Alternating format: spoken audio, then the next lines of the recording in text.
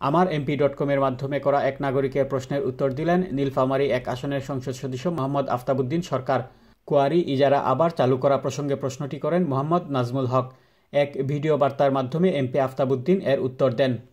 জনগণের সঙ্গে জনপ্রতিনিধির যে সম্পর্ক স্থাপনের যে একটা ওয়েবসাইট খোলানো হয়েছে, আমার এমপি ডট কমে সেইটা বিষয়ে আমি সর্বপ্রথম ধন্যবাদ জ্ঞাপন করছি। এবং কৃতজ্ঞতা জানাচ্ছি। আমার এমপি ডট কম কর্তৃপক্ষকে। আর এটার আইসিটির যিনি উদ্যোক্তা আমাদের দেশে, মাননীয় প্রধানমন্ত্রীর উপদেষ্টা, রাজনৈতিক উপদেষ্টা, আইসিটি বিশেষজ্ঞ বিশেষজ্ঞ জনাব সজীব ওয়াজেদ জয়, তাকেও আমি অসংখ্য ধন্যবাদ জ্ঞাপন করছি। এবং আইসিটির আজকে যিনি আমাদের প্রতিমন্ত্রী জনাব জুনাইদ আহমেদ পলক তার যে অভিযাত্রা যেটা শুরু হয়েছে তাকেও এই আইসিটি বিভাগের যে আজকে উন্নয়ন ঘটছে সেজন্য তাকেও অসংখ্য ধন্যবাদ জ্ঞাপন করছি। আর আজকে যিনি প্রশ্নকারী কর্মকর্তা জনাব নাজমুল হক কোয়ারি যারা সম্পর্কে প্রশ্ন করেছেন। আসলে এটা পাথর উত্তোলনের বিষয়টা নুড়ি পাথর উত্তোলনের বিষয়টা ডিমলায় আজকে নতুন নয় মানে আগের থেকে।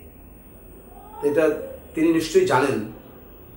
এই সুযোগে আমি আমার এলাকাবাসীকেও জানাতে চাই যে ডিমলার উপকণ্ঠেই তিস্তা নদী প্রবাহিত এবং তিস্তা নদী আমাদের বাংলাদেশের সবচেয়ে বৃহৎ প্রকল্প তিস্তা বাঁধ এবং তিস্তা ব্যারেজ প্রকল্প।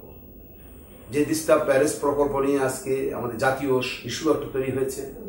আমরা ভারতের উজান থেকে পানি আসতে পারতেছে না। হাজার হাজার কোটি টাকা ব্যয়ে এই তিস্তা ব্যারাজ। এই ব্যারাজের পাশেই এই নুড়ি পাথর উত্তোলনগুলো হয়ে থাকে। আমাদের খনিজ সম্পদ মন্ত্রণালয় স্থানীয় প্রশাসন, জনপ্রতিনিধি সকলে মিলে এই কর্মকাণ্ডকে চালু করা এবং বন্ধ রাখা এই বিষয়ে নানান অভিমত রয়েছে। তবে সবশেষে পরিবেশ বিভাগ থেকে এটার উপর বিধিনিষেধ রয়েছে। এই বিধিনিষেধ উপেক্ষা করে এটাকে কোনো ক্রমে চলার সুযোগ নাই বলেই আমি জানি। আর সেই কারণের জন্য আপাতত এই মুহূর্তে এটাকে পাথর উত্তোলনের জন্য পরিবেশগত দিকের যে ভারসাম্য রক্ষা হচ্ছে না, সেই কারণের জন্যই বন্ধ আপাতত রয়েছে আর এটি আমি প্রশ্নকারীকে প্রশ্নকারীকে এবং পাশাপাশি আমার এলাকাবাসীকে উদ্দেশ্যে আমি একটু বলতে চাই যে সরকারি বিধিবিধান সবাইকে মেনে চলা উচিত। আর আমরা যারা ওই এলাকার মানুষ, তারা সবাই আমরা ভুক্তভোগী যে এই পাথর উত্তোলনের সঙ্গে কি কি সংশ্লিষ্টতা আছে। যেমন রাস্তাঘাট ধ্বংস হয়ে যায় জায়গা জমি, আবাদি জমি ফসল বিনষ্ট হয়, আর তিস্তা নদীর ভিতর দিয়ে যে সমস্ত নদীর প্রবাহিত জায়গায় চর অঞ্চলে পাথর উত্তোলন হয়, তখন নদীর চলার যে গতি, সেটা আবার ডাইভার্ট হয়ে যায়।